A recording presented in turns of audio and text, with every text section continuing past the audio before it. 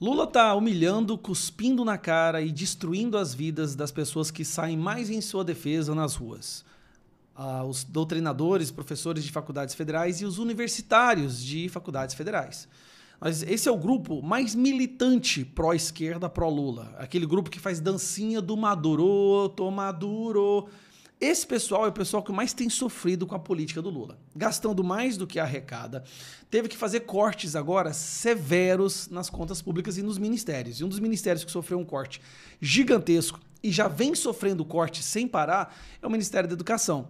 Nós temos visto aí no ano, nesse ano e no ano passado a greve das universidades federais e institutos federais.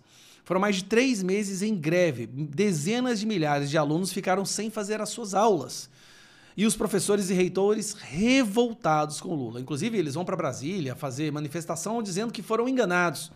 Tem até cartazes foram postados nas universidades falando doutrinamos e apoiamos e assim que fomos é, recebidos, essa é a recompensa que recebemos. Pois é, então presta atenção. Esse daqui, aqui ó, Governo Lula congela 1,3 bilhões de educação. Os reitores fazem contas. Eles não vão ter mais dinheiro para quitar a folha de pagamento e até mesmo auxílio dos alunos. Aqui na Folha de São Paulo, universidades federais prevêem dificuldade para pagar contas após o governo congelar verbas. Já é a terceira vez que esse governo congela ou bloqueia verbas da educação. Foi educação, saúde, tudo. Todas as bandeiras que eles levantaram como sendo suas principais são os pontos principais que foram destruídos, na verdade. E aí vem a parte que chamou a atenção. Lula fez um programa que fez um estardalhaço em cima desse programa que é o Desenrola Brasil. É um programa basicamente para que os alunos que estavam com dívida no FIES pudessem renegociar as suas dívidas. Lembrando que o Bolsonaro tinha isentado, o Lula está vindo com Desenrola. Só que aí, meu amigo, Lula passou a perna no povo de tal forma que isso virou matéria até no Jornal Nacional com o nosso querido amigo lulista William Bonner. Né? Peguei esse vídeo aqui do perfil do Bruno Zambelli no Instagram. Mais uma vez eu recomendo, é o melhor perfil que tem para você acompanhar o que está acontecendo. Estudantes se assustam com os valores na revisão de contratos do Desenrola Fies. Uma revisão de contratos do programa Desenrola Fies assustou os estudantes que aderiram à renegociação de dívidas de financiamento estudantil. A Thaís aderiu ao Desenrola Fiéis e conseguiu desconto de 92%. A dívida de 83 mil reais caiu para 7.500. Maravilha, né? É exatamente o programa que o Bolsonaro tinha, só que o que o Lula fez? Ela já pagou 7 das 15 parcelas de 500 reais, mas quando baixou na internet a prestação que vence em agosto, teve um susto. Eu me deparei com um boleto de 2 mil reais e minha, meu saldo devedor em 17 mil reais. Olha, peraí, o, o acordo tinha ficado em 7, ela pagou 7 parcelas de 500, ou seja, 3.500 reais, e o saldo devedor dela foi para 17. Ou seja, né, praticamente triplicaram a minha dívida. Você não tem condição de não pagar? Não tenho. E aí meu medo é porque se eu não pagar, eu vou perder, né, e vai voltar a dívida. Volta a dívida antiga de 83 mil. Vocês estão entendendo?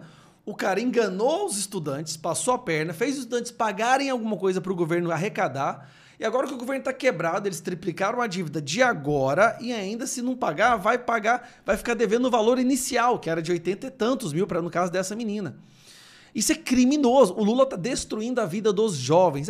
Justamente aquela parcela da população que tem o maior número de militantes pró-Lula que está ali dentro da sala de aula com os doutrinadores martelando na cabeça deles de forma incessante de que eles têm que votar na esquerda, que o Lula vai salvar o Brasil, que o Lula vai salvar a educação. Aí esses jovens ingênuos vão lá, digitam 13 nas urnas, fazem um L e agora estão aí arrebentados, sem condições agora de pagar as dívidas que o Lula falou que ia resolver.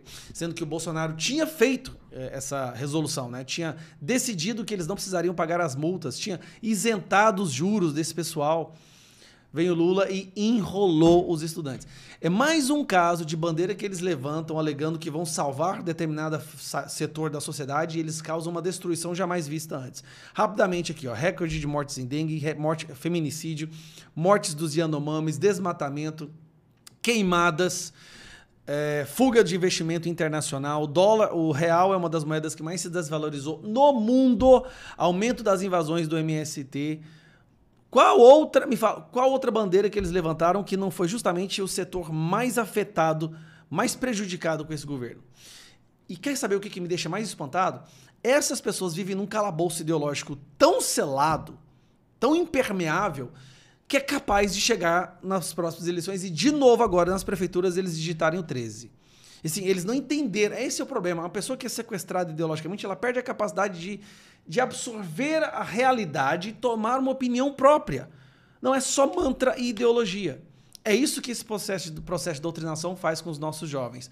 E agora o desenrola virou enrola, ele enrolou os, os, alunos, né, os jovens que estavam com dívida no FIES, e muito dificilmente esse pessoal vai conseguir pagar. Então, assustou a molecada principal que fez campanha para ele. Parabéns para você jovem que fez o L. Até o próximo vídeo.